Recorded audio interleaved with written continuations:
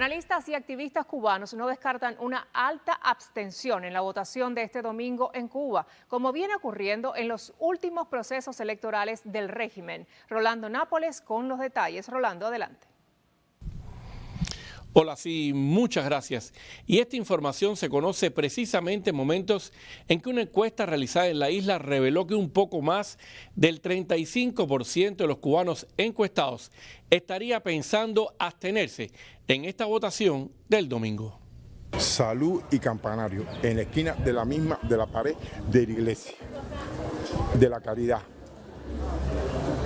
Quiere decir de que no le interesa ni el Papa, no le interesa nada, no le interesa nada, porque esto es un desecho al lado de una iglesia.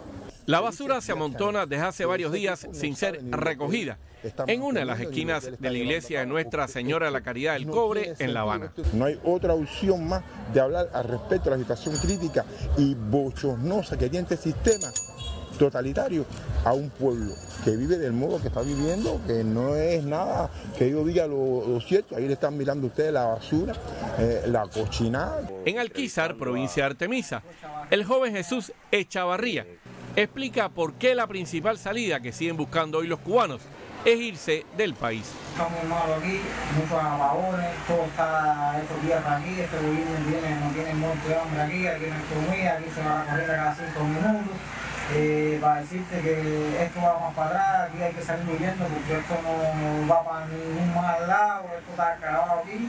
Entonces hay que tratar de ver cómo se va aquí porque esto no, esto no va para, para, para más ningún lado.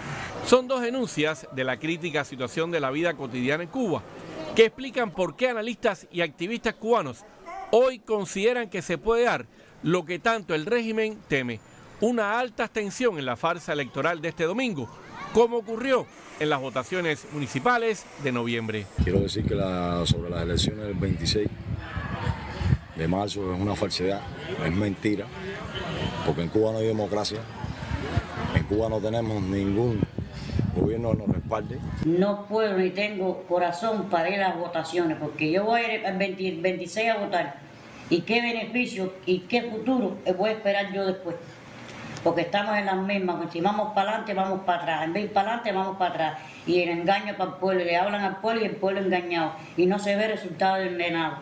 A pocas horas de la votación este 26 de marzo para los 470 diputados, ya designados previamente por el régimen, la encuestadora Cuba Data reveló en un sondeo a más de 1.855 cubanos que un 73% de los encuestados consideraba ilegítimo e injusto el sistema electoral de la isla.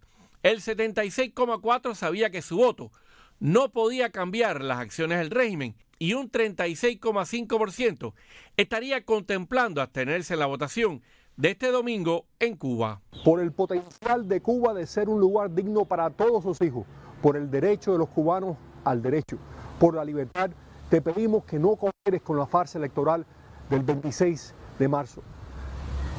La fecha ha sido diseñada un día después del 128 aniversario de la firma del manifiesto de Montecristi como una burla de lo que fue este manifiesto y lo que este lugar representa para los cubanos.